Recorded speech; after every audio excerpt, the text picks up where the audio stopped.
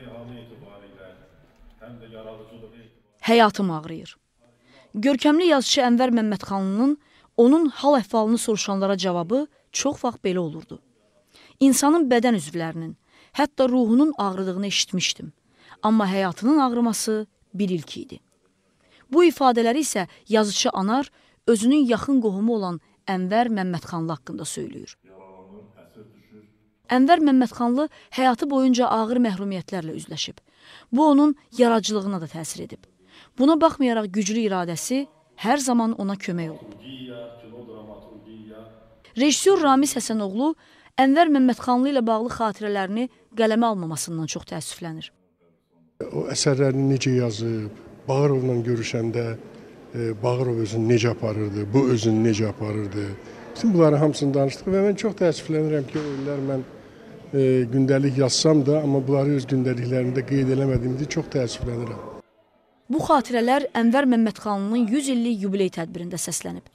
Gecənin aparıcısı professor Nizami Cəfərov Ənvər Məmmədxanlının həyatını buz heykəl əsəri ilə müqayisə edib və onun taleyində isti yox, soyuq işığın işartılarından söz açıb.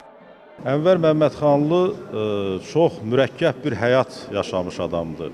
Adətən belə insanların yaradıcılığı da zəngin olur, çünki həyatın özü zəngin olubdur. Ənvər Məmmədxanlının yaradıcılığında ə, dövrün ictimai-siyasi hadisələri, bəli, xalqın istəkləri həmişə çox mühüm yer tutubdur.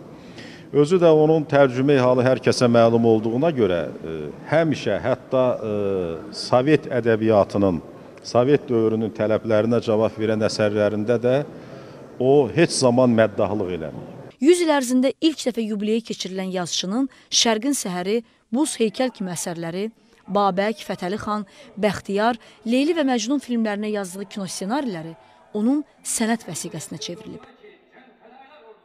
Türk dünyasının böyük şairi Nazim Hikmət Ənvər Məmmədxanlı haqqında sən öz əsərlərində həmişə nəyisə gizlədə bilirsən.